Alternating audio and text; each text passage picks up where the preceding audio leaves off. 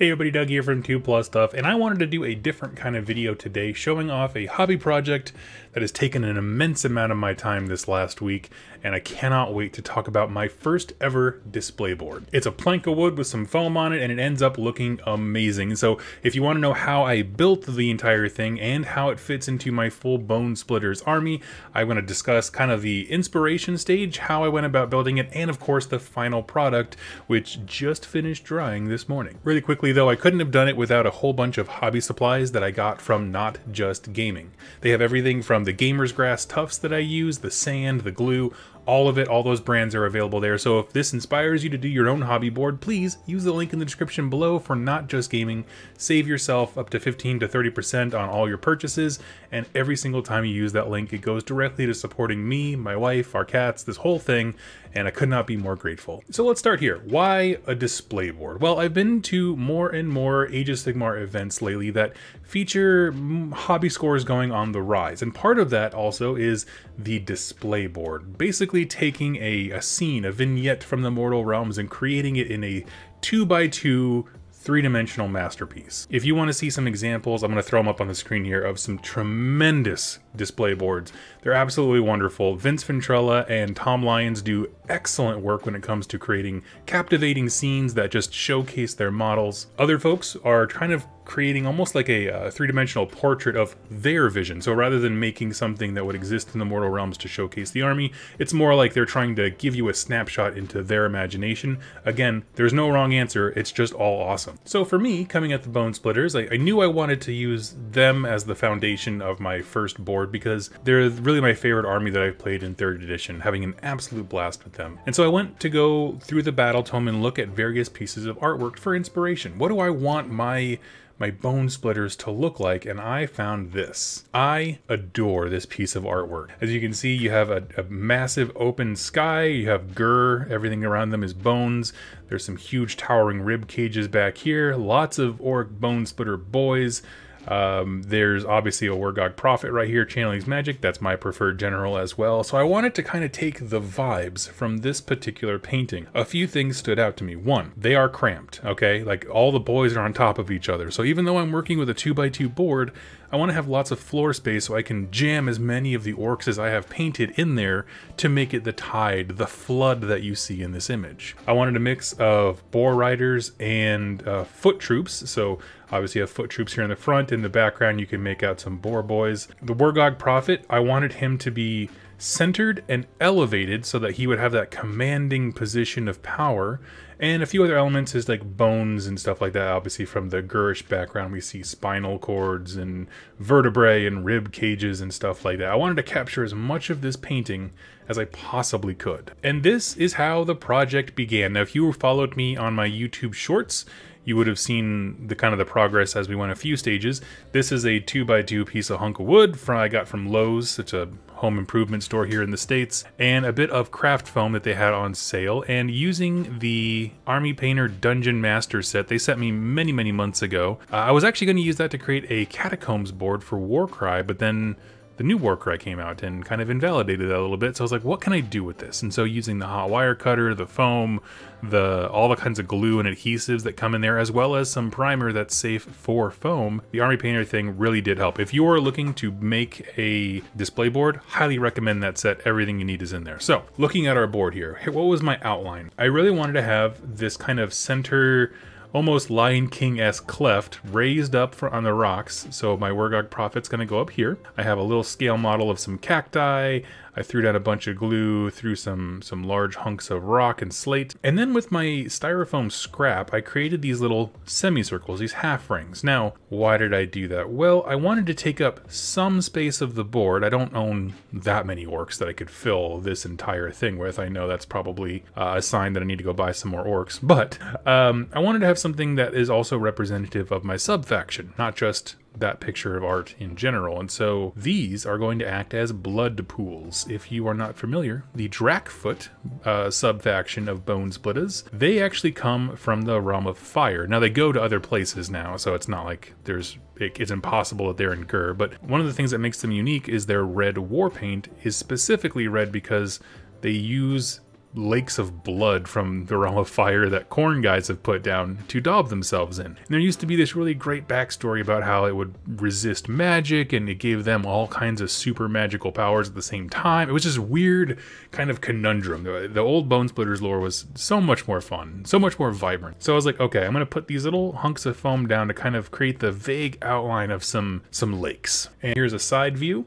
I went ahead and with some um, fill in gray crap and then just kind of like made a little basin for the water just so that the resin that I put in there, the quick fill for water effects that you get from like a hobby store uh, can actually pool somewhere rather than just sinking into the wood. And that's how she looked at the end of day one. So you can see there's our sideways picture. And again, it's it's not meant to be like super detailed. I didn't want this whole rock thing to be like distracting. I didn't put like a face of Gork or anything into it. The whole idea was just, I just want something cool that raises my Wurrgog prophet up. Now, after a ton of work, I reached this point. Now, I understand that I forgot to take pictures uh, a few key moments here between picture one and picture two. So let me walk you through what we have here. Uh, just kind of go back and forth between, we'll go these two shots here, right? That's, that's good comparison. So the first thing I did was put this um, gray primer down just to have some good base for the blood pools. And I knew that these were going to be rocky outposts, so that's fine. As far as the rest of the board, I then went over the entire thing with a thinned out thing of white glue and then poured a mixture of cat sand, like a kitty litter, and some finer sand. So there's a mix in here. It doesn't show up too well on camera, but there is a, a, great mix of different materials. So some bits are bigger, some are smaller to scale. It just looks vibrant. Put that on there, let it dry overnight, and then came back with a second layer of that thin down paint, put it on again and let that sit. Try basically trying to seal as much of this texture as I can into the actual board. I then primed the entire thing, minus the lakes, uh, with the Army Painter, their tan spray. So they make these spray rattle cans that are for their dungeon building thing, which basically they're expensive spray paints, but they're safe for foam. And so you can just hose right on there and it won't do a thing. So I grabbed their like dust or desert themed one, that kind of tan bone color, hosed the entire thing down safely, had absolutely no problems with my foam distorting at all. And then with that done, I took uh, a half a bottle of Casandora Yellow, thinned it out a whole bunch into a giant ramekin, and then just washed the entire board minus the lakes. Let it sit overnight. Then I dry brushed the entire board overnight. I wanted to add a little bit of, of uh, terrain variety so you can see the little splotches of, of darker brown kind of going into more to the bone hue.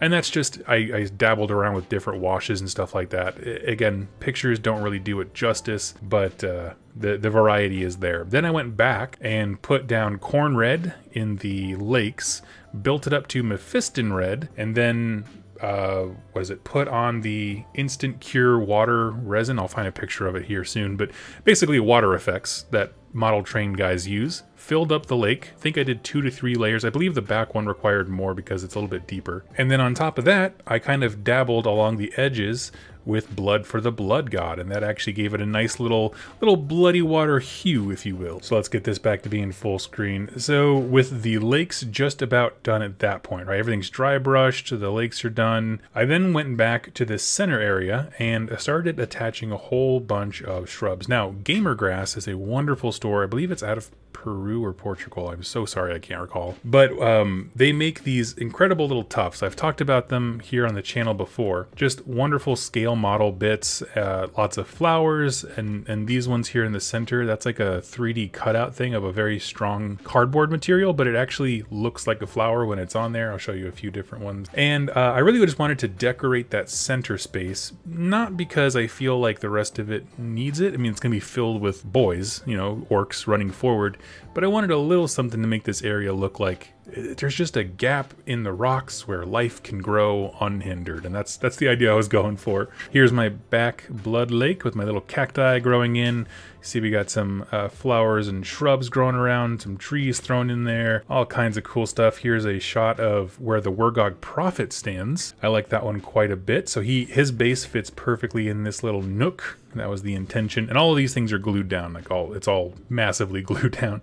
And here's the the left side of the board if you're looking at it head on. I needed to leave space at least on one of these these side flanks because I do have that uh, rogue idol of Gork or Mork boar that I wanted to show off for everybody. Now I was concerned that the uh, 2000 point list that I made, which is mostly boar riders, would not take up as much of the board as I needed it to. So I painted up some terrain as well. These, this is the dragon bone bits thing that came with the, what is it? Thondia set originally. I think it's separate now. Um, but I love, love, love, love these sculpts. They're wonderful. They're kind of a pain to put together. I don't know if anyone else had trouble with them, but they're great looking models. And so I painted up the bases to match most of the, the basing of the actual board. There's a little bit of a discrepancy when areas get darker, but I mean, it looks fine. And also this nice tall rib cage is going to help me to kind of get some of the details from this picture. Like I wanted some aspect of the rib cage going up, and I think having the terrain set on one side of the board is going to look awesome for that exact image. So without further ado, and 14 minutes into the video, here is the final product. This is all of my painted orcs right now, much more than a single list, on the board. And I am going to take you on a little family tour, if you will. Of course, at the top center, we have our Wurrgog Prophet. We have our boar on the right side. That's our rogue idol of Gork. All the boar boys you can handle on the right. All of my boys on foot, which are actually Morboys. Uh, it's the only infantry that I have at the moment are in the dead center. Big boss in the front here. We have our terrain wrapping around the sides. So here's the skull and, and spine. The rib cage is going up on the side there. To the left, we have our big Stabbas and our last thing of these are the Boar Boy Maniacs led by a shaman back there. So let's go on our full tour. Boss with all the boys in the front. I love this picture so much because this is one of my favorite models Games Workshop's ever made. Here's a good shot of our boys and how they're charging forward on the right side if you're looking at it from the front. Here we have our Wurrgog up in the little kitty corner. Our boy, uh, the Rogue Idol, which was made for me by an awesome viewer here on the channel. Absolutely love this sculpt, and if you would like your own, there is a description link down below for you. Please go support uh, Viridian Forge. He's a wonderful person. Here is my Wurrgog Prophet, which was especially painted for me by Jack from Rerolling Ones, and I do very much value this little guy. He fits in perfectly into that little nook, and uh, I think he looks pretty stellar doing it. Over on the left side, we have our Boar Boy Maniacs, led by the Maniac Weirdnob Shaman on his little boar. And this is just a pick to get some of the, the variety of the terrain here. So it's a good shot of the flowers and the blood and the dudes and the bones and all that. So stopping to take a step back and look at this guy, I'm very excited. I'm very excited for the next Age of Sigmar event that I can go to where I can bring this sucker and actually show off my entire army. Now, of course, in a uh, competitive list, the Morboys here wouldn't exist. I think that's the only thing that I own here that's painted, well, maybe the Wardokk, uh, of stuff that I just don't take. Now, keep in mind, this list was from before uh, the current battle whatever update came out that made having infantry troops way good. So Morboys I think have a lot more stock now than they did at the time when I wrote that list, but I love the fact that I can fit them all on here. Now of course I do still have like 30 or 40 Arrowboys and uh, even more Morboys, and I do want to expand and get some basic uh, Savage Orcs, but that's all for the future plan. This this was about a hobby achievement, and I am satisfied. Now, one other thing I do want to do eventually, this is this is just not very high on my priority list, is I want to get a two foot square that goes up the back and I just put a little bit of a background on there. Like it wouldn't be much more besides just some colors and stuff but basically looking to to have a backdrop to the scene itself I think could be really fun. That's something I've seen Tom Lyons and Vince Venturella do. I like it. It's just one of those things if you're looking head on at the piece like judging it it just makes it feel special. But I gotta say this thing's sitting right next to me because I literally just took these pictures and I'm gonna feel so excited when this sucker is like set up and judges are walking around taking pictures. I don't know. I'm just I'm truly very excited about this build. And I know it's not special.